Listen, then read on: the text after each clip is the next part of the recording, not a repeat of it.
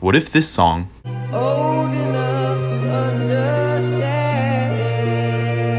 was played only using the violin?